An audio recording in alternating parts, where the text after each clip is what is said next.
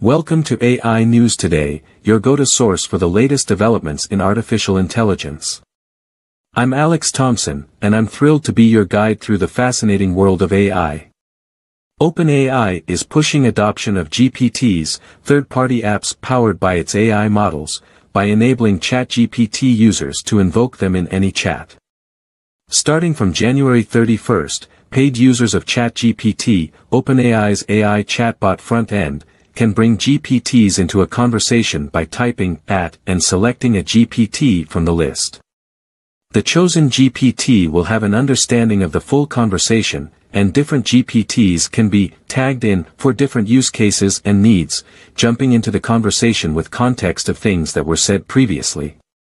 This allows you to add relevant GPTs with the full context of the conversation, OpenAI said in a tweet.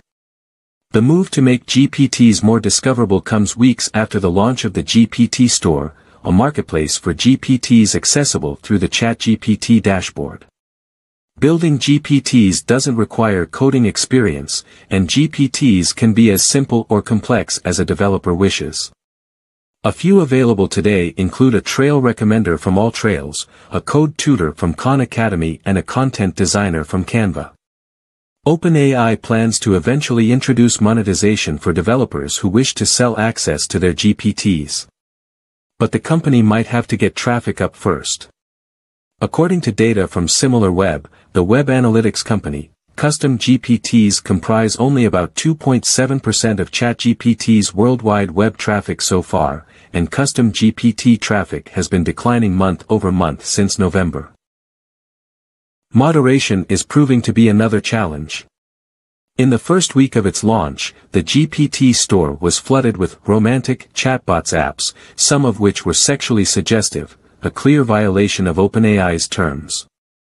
Developers also rushed to make political campaigning bots, like a chatbot that impersonated U.S. presidential candidate Dean Phillips, another obvious violation. OpenAI, which claims to use a combination of human and automated review to flag GPTs, has since removed some of the offending apps. But if the volume of GPTs grows as the company's clearly hoping, one imagines that the problem is only going to become more acute. Thank you for tuning into AI News today. Stay informed, stay curious, and don't forget to subscribe for more exciting updates from the world of artificial intelligence. Take care and keep exploring the future with us.